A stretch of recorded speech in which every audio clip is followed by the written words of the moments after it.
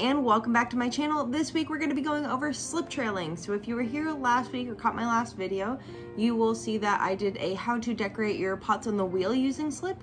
This week I'm going to be showing you guys how to do that on the table and out of a bottle or some sort of applicator for that. So let's go ahead and get started. So you probably, if you are new to this, know slip as kind of the glue that we use to attach any sort of piece of clay to each other. If you want to use this for more of a decorative aspect, what you will need is a sieve. Um, this one I believe is like a 300 mesh, but I don't think you need it to be that small. Essentially what I did was I kind of watered down my slip a little bit and ran it through the sieve. It's gonna take a minute. You're gonna either wanna use your hand to get that through or a rib to get that through whatever you use, as long as you get it through, the slip will come out the other side and it will be pretty homogeneous. It's not gonna have any sort of like clumps, abnormalities or things like that in it. You want like a pretty creamy texture. Now, if you want it to be a little bit thicker, you can use this kind of like how you use icing to decorate a cake, which you can use cake decorator tips for this, which can be really awesome. Um, however, I'm not a cake decorator. I was never good at that, so I'm not gonna be showing you that way. But if you are, this might be a trick for you. So I have a little applicator bottle. I took the slip that I threw through my sieve and it is now in here. So it is nice and creamy. I'll show you real quick.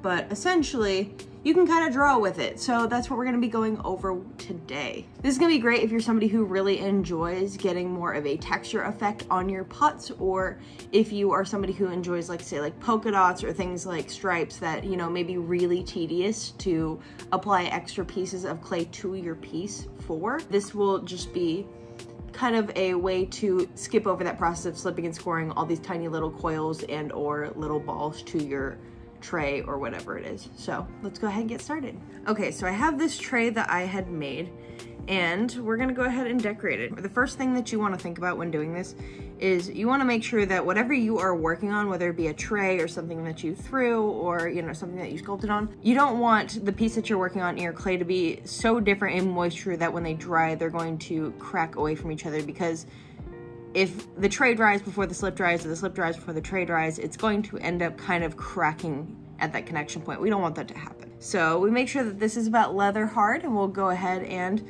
get working on it. So I'm just gonna go ahead and add some little, I was thinking maybe just some dots around the edges here. This is something that is way faster to do while slip trailing than it is to you know, make a ton of tiny little balls and apply them to the edges of your tray.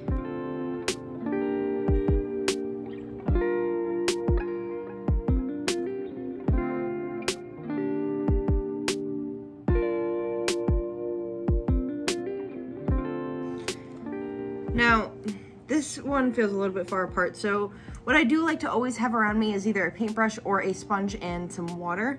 Mainly because if you mess up with this, it's really nice that you can just wipe that off and we can keep going.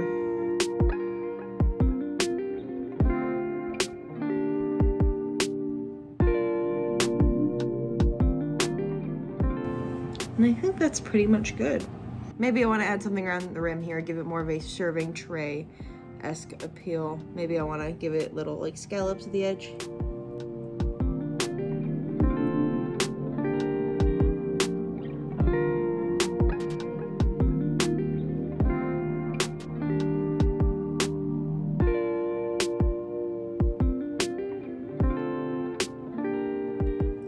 Be patient with yourself when you're doing this.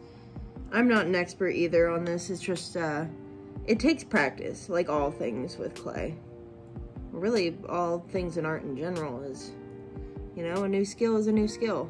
And this is not a particular one that I use on a regular basis with my personal work. But it is very fun to try.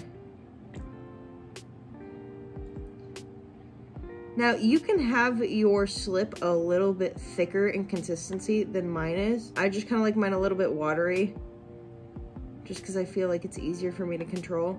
Mainly because, you know, the thicker your slip is, the more you're gonna have to apply pressure on your hands to be able to, you know, get this to work and like come out at the rate that you want it to. Now, I like to use a brush mainly so that way, you know, with things like this, where I don't have to use the whole sponge to wipe away, I just kind of want to shape that a little bit more. I can really use this to get a nice solid line.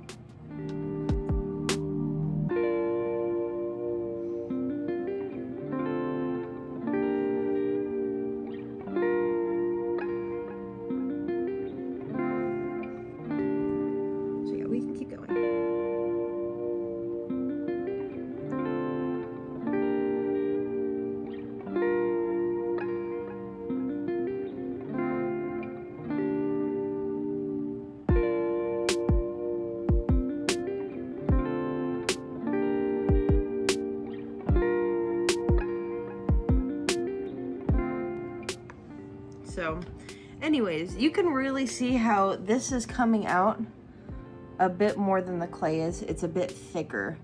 So with this, when it dries and when this gets fired, this will be, you know, a ridge here. You will be able to feel it with your hands. And so that is the nice part about this rather than making all these tiny little details in clay and then, you know, attaching it on.